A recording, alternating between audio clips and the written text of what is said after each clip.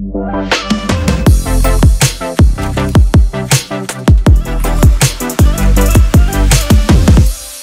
Je suis certain que tu as déjà entendu parler de ce passage bien connu dans lequel l'apôtre Paul dit à Timothée, J'encourage donc avant tout à faire des demandes, des prières, des supplications, des prières de reconnaissance pour tous les hommes, pour les rois et pour tous ceux qui exercent l'autorité, afin que nous puissions mener une vie paisible et tranquille en toute piété et en tout respect. Ce qui est très intéressant, c'est l'un des conseils que Paul donne à son fils spirituel concernant l'intercession pour les personnes que nous connaissons et en particulier pour ceux qui nous gouvernent. Je ne sais pas quelle est ton expérience sur ce point, mais personnellement, quand on parle de politique avec des chrétiens, il y a souvent des plaintes et des critiques à l'égard des partis politiques ou des dirigeants en général.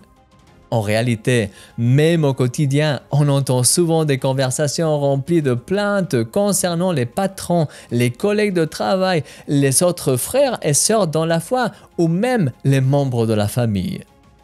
Je pense qu'on a tous tendance à parler des autres en leur absence et à souligner ce qui ne nous plaît pas chez eux, ce qui ne va pas dans le système ou ce qui devrait changer. Mais parler de tout cela n'arrange rien au contraire, cela aggrave les choses. Non seulement ces critiques n'aident personne, mais elles nous donnent un sentiment de supériorité, elles nous aveuglent et ouvrent la porte à des malédictions dans notre propre vie. Et s'il existait une clé pour aider ces personnes ou ces institutions à changer?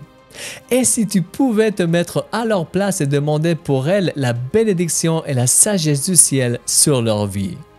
Oui, tu viens de découvrir quelle est la puissance de, l'intercession. L'intercession ouvre la porte à la bénédiction de Dieu dans la vie des personnes pour lesquelles tu pries. Pour une raison ou l'autre, elle n'ouvre pas cette porte, mais toi, tu vois ce qui se passe et tu choisis d'ouvrir la porte à leur place.